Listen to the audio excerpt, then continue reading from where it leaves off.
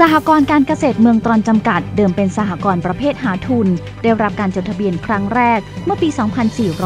2479 มี 6 สหกรณ์คือ สหกรณ์ท่าอวน สหกรณ์วังหิน สหกรณ์วังแดง สหกรณ์ป่าสัก สหกรณ์สักงาม และสหกรณ์หาดสองแคว ไม่จำกัดสินใช้ ต่อมาได้ควบเป็นสหกรณ์การเกษตรเมืองตรอนจำกัด ได้รับการจดทะเบียนประเภทสหกรณ์การเกษตร ตามพระราชบัญญัติสหกรณ์พุทธศักราช 2511 เมื่อวันที่ 1 เมษายน 2513 เลขทะเบียนที่ 87 ทับ 11384 มีสมาชิกในวันควบสหกรณ์ 74 คน มีทุนดำเนินงานทั้งสิ้น 28,550 บาท และได้เริ่มดำเนินงานต่อจากสหกรณ์เดิม เมื่อวันที่ 1 เมษายน 2513 เป็นต้นมา มีการพัฒนาและดำเนินงานอย่างต่อเนื่องมาเป็นลำดับ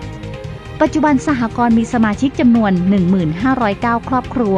รวม 52 กลุ่ม และมีฐานะทางการเงิน ณ วันที่ 31 มีนาคม 2561 ดังนี้ ทุนดำเนินงานจำนวนกว่า 1,914 ล้านบาท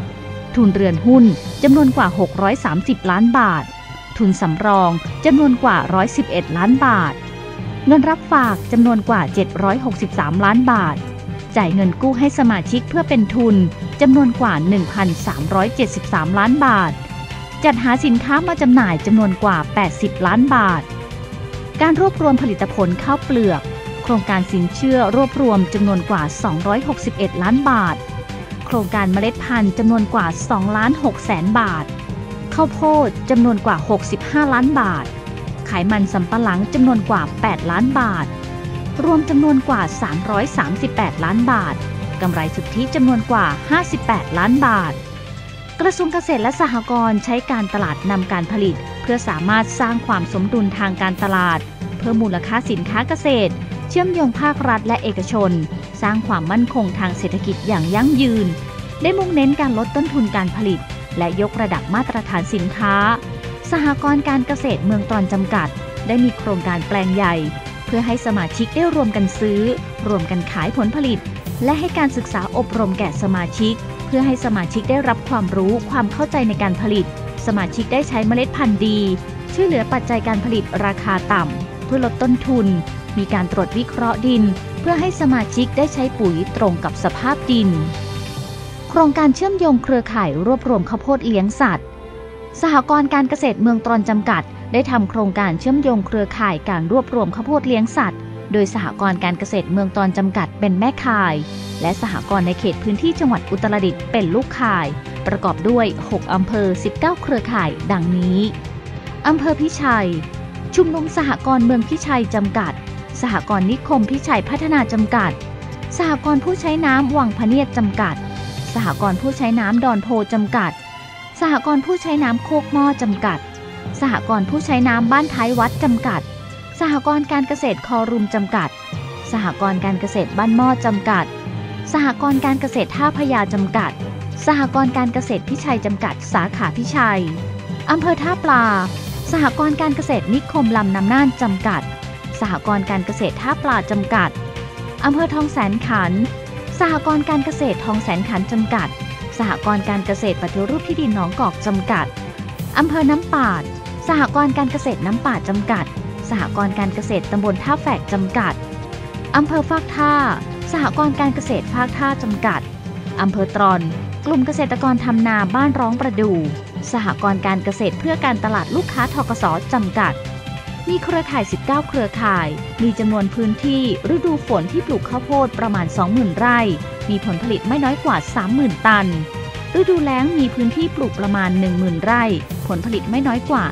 15,000 ตัน วัตถุประสงค์ของโครงการ 1. เพื่อเชื่อมโยงเครือข่ายในการรวบรวมข้าวโพดเลี้ยงสัตว์ 2. เพื่อส่งเสริมการผลิตการตลาดข้าวโพดเลี้ยงสัตว์ 3. เพื่อหาแนวทางความร่วมมือระหว่างสหกรณ์แม่ข่ายกับลูกข่ายข้าวโพดเลี้ยงสัตว์ ตลอดห่วงโซ่การผลิต 4. เพื่อจัดทำข้อตกลงร่วมกัน 5. เพื่อให้ทราบหลักเกณฑ์การรวบรวมข้าวโพด 6. ส่งเสริมพื้นที่ปลูกข้าวโพดแบบถาวร ซึ่งโครงการดังกล่าวเป็นการพัฒนาสถาบันเกษตรกรรูปแบบประชารัฐ โครงการแก้มลิงข้าวโพดตามนโยบายรัฐบาล เป็นแหล่งจัดเก็บและรวบรวม เพื่อสร้างเสถียรภาพด้านราคาผลผลิตสินค้าเกษตรของเกษตรกรสมาชิก โดยสหกรณ์การเกษตรเมืองตรอนจำกัดทำโครงการแบบครบวงจร ต้นน้ำมีการส่งเสริมการปลูก ให้การอบรมแก่สมาชิก มีเงินทุนดอกเบี้ยต่ำมีปัจจัยการผลิตให้กับสมาชิก โดยเน้นการลดต้นทุน และวิเคราะห์ตรวจสภาพดิน เพื่อให้ใช้ปุ๋ยตามสภาพดิน เพื่อเพิ่มคุณภาพผลผลิตข้าวโพด กลางน้ำติดตามดูแลส่งเสริมให้คำแนะนำกับสมาชิก ลงพื้นที่ตรวจแปลงข้าวโพด เพื่อให้ได้ข้าวโพดที่มีคุณภาพ ปลายน้ำสหกรณ์การเกษตรเมืองตอนจำกัด เป็นผู้รวบรวมผลผลิต และเป็นแม่ข่ายในการรวบรวมข้าวโพด จากสหกรณ์เครือข่ายในราคายุติธรรม สหกรณ์การเกษตรเมืองตอนจำกัด ได้รับเงินอุดหนุนงบประมาณรายจ่ายเพิ่มเติมประจำปีงบประมาณ 2561 งบกลางปี โครงการพัฒนาสถาบันเกษตรกร จัดเก็บพืชผลทางการเกษตร 2 อย่างด้วยกันคือ 1. เครื่องอบลดความชื้นพร้อมโรงคลุมขนาด 240 ตันต่อวัน มูลค่า 20 ล้าน5แสนบาท 2. ไซโลขนาด 1,000 ตัน มูลค่า 11 ล้านบาท อยู่ระหว่างดำเนินการ สหกรณ์ให้บริการสมาชิกในด้านต่างๆ แบบครบวงจร เพื่ออำนวยความสะดวกแก่บรรดาสมาชิก จากการดำเนินงานของสหกรณ์ที่ผ่านมา ได้ใช้เงินทุนภายในของสหกรณ์และได้รับการสนับสนุนจากกรมส่งเสริมสหกรณ์และหน่วยงานราชการต่างๆ รวมทั้งการแนะนำส่งเสริมของสำนักงานสหกรณ์จังหวัด โดยผลักดันและพัฒนาสหกรณ์ให้มีคุณภาพ ในการบริหารจัดการ การควบคุมภายใน และธรรมาภิบาลที่ดี